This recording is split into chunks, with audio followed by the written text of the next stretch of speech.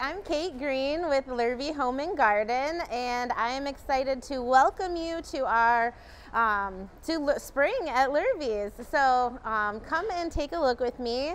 Here we are in our covered shopping greenhouses.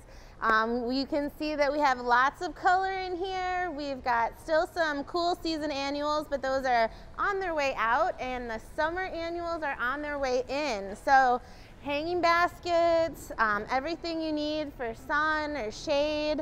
Um, if you're planting up your beds or containers, um, we've, we've got it all for you. Yeah, lots of beautiful color. I'll take you down a little bit farther so you can see our edible section where we've got herbs and veggies starting to come in.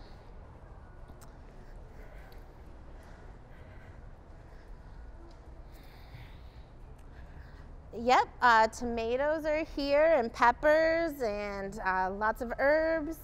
We've got, you know, everything naturally grown, not all certified organic, but naturally grown.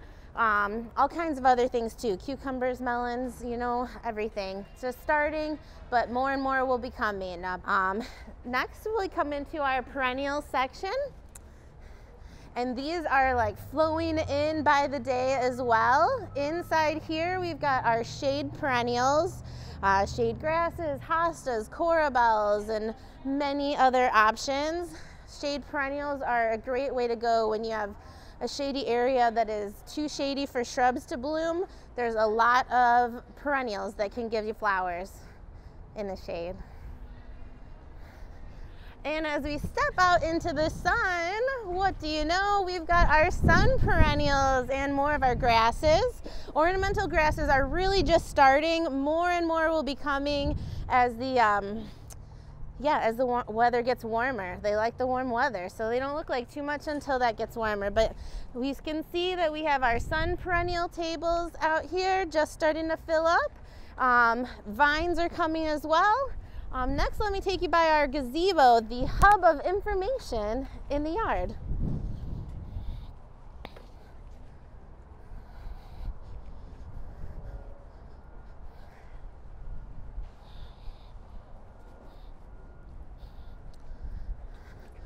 All right, so here we are at the gazebo, um, the information center. So um, if you come in, take a look around, kind of get the lay of the land, find something you like, and then you have a question, the gazebo is the place to go for the answer. Say you've uh, picked out a tree that you like and you're ready to tag it, um, or you have other questions about delivery install, stop by the gazebo. There's nursery salespeople who always are heading back there when they're done with customers. So that's the place to go once you're ready to kind of take it to the next step with your plants.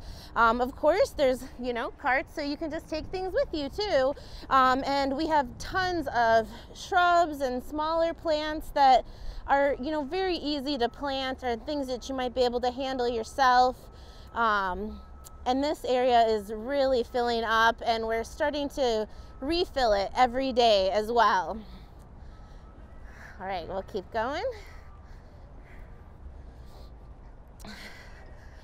So here's where we have a lot of our specialty evergreens, some of the cool spirals and pom-poms, whipcords. Japanese maple section just starting to fill up. Um, in a couple of weeks, we will have it full of all those really cool weeping cutleaf Japanese maples, the little dwarfs. Um, for anybody who's a collector, we will have those, those cool ones in a couple of weeks. Ground covers. Over here, we have all of our fruit trees, um, at least all the smaller fruit trees. Peaches, pears, apples, cherries. Yeah, those are the main ones. Um, yeah. All right, we'll watch our step as we cross the road here to our bigger plants.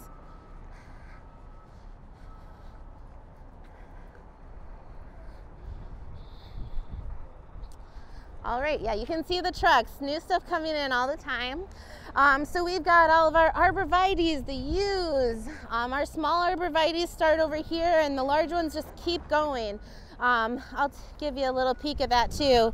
Um, just to give you an idea of the layout, um, we have a lot of the ornamental trees in this direction. So some of the more common ones like pears, um, serviceberry magnolia, um, and some of those you really want to get now during spring because we have the best selection and some things you can't you can't dig them later. So while some things we can continually refresh, there are certain ornamental trees, dogwoods, and a few, you know, a handful of other things that really you want to get now before they're gone for the season. Um, so yeah, we'll take a little peek down.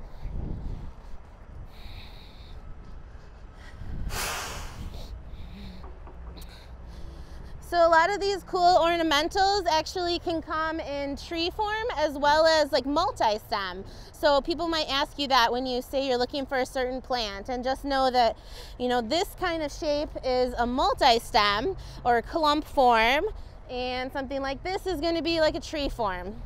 Um, and some but not all of them come in both options. So just to know that. More Japanese maples, just starting, just starting to get leaves. But give it another week or two and those will be bright and beautiful red. We've got some cool native plants, of course. Um, witch hazel, katsura trees, um, bottlebrush buckeye. We've got all the crab apples as well. Some of them still blooming. Uh, do make a note that just because it's blooming here doesn't mean it will necessarily still be blooming by the time you get it home. I know that can be disappointing, but um, if there's some time in between purchase and getting it back to your place, that could mean that it's just green by that time. But that doesn't mean that it won't flower again next year. It certainly will.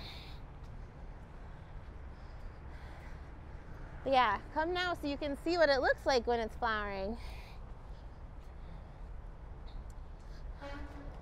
Um, some cool Japanese tree lilacs. If you thought lilacs only come in like small bushes, oh no, they also come in beautiful trees. Um, yeah, let's take a step over to the other side if we can find a safe route.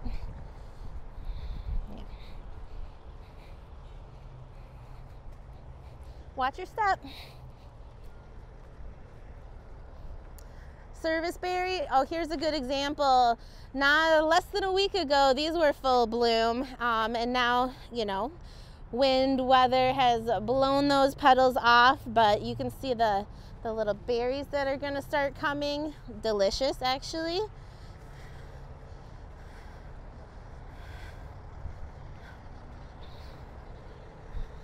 Another one that comes in shrub form and tree form as well. Oh, let me just draw your attention to this cool guy. This is one of the beautiful weeping cherries that we have. Really spectacular, practically full grown. And here's a really cool one, um, another buckeye. So these flowers are actually just getting ready to start opening. And when they do, they're so big, unique, um, re really cool. Everyone will ask you what you have if you have that planted in your yard. Red buckeye.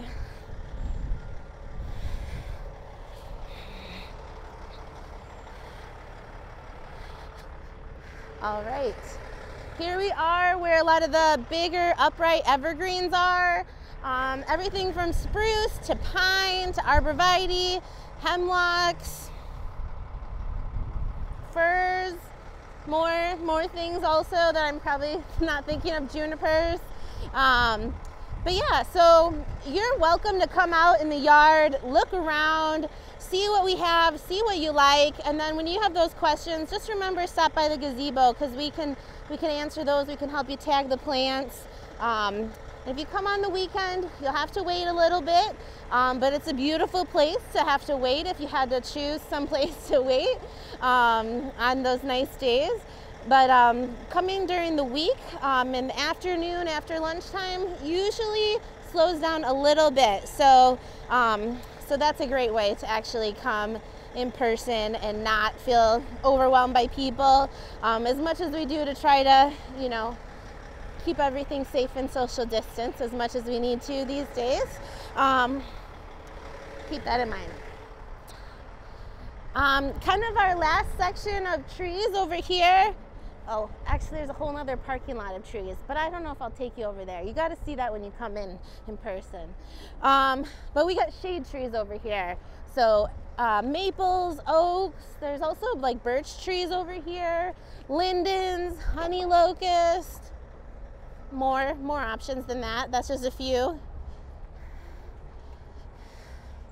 But yeah, shade trees. So trees that give shade, not that necessarily need shade, but they can give your yard some shade.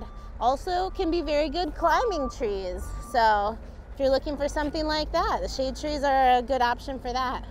So let's see. I think that's about everything I'm going to show you for now, but please come in. The yard is always changing. We're getting new stuff in every day, multiple trucks a day this time of year. So yeah, we'd love to see you and help you with any of your landscape projects. Thank you.